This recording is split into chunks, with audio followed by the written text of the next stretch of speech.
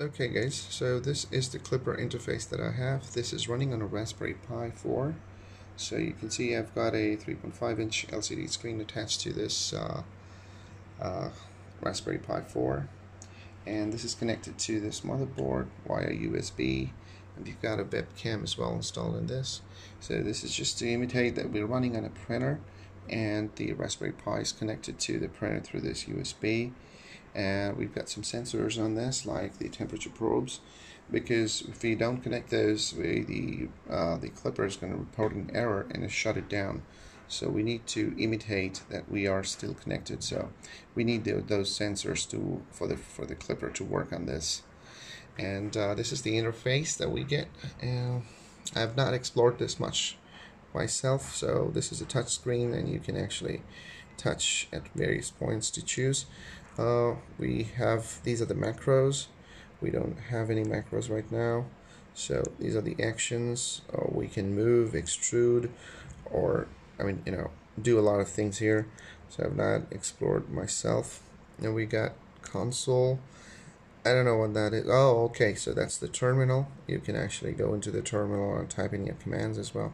Let's see if I'm able to actually type in a command. Yeah, we get a keyboard as well. This is this is awesome. So we get a small keyboard. We can actually communicate with the printer. And uh, we've got this fan.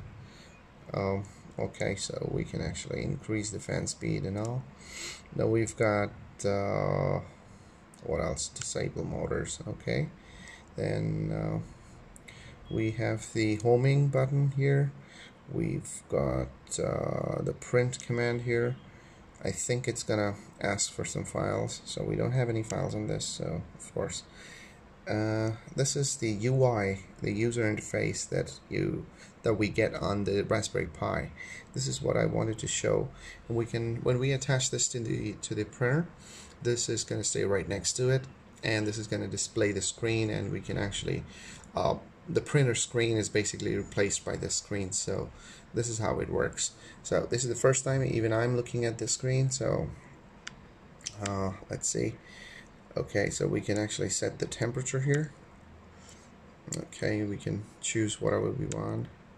Let's close it and um, let's go into configurations. Oh okay so we've got bed leveling. Ah that's nice. So we can actually trim it and use it then we got uh, system. Okay we can update everything here. The mainsail the moonraker and the Klipper firmware. We've got the limits here. Okay. So that's nice. Then we got the network in case if you want to change the Wi-Fi network which I don't know why would you want to? Um, then we got the save config. Okay. And we have settings.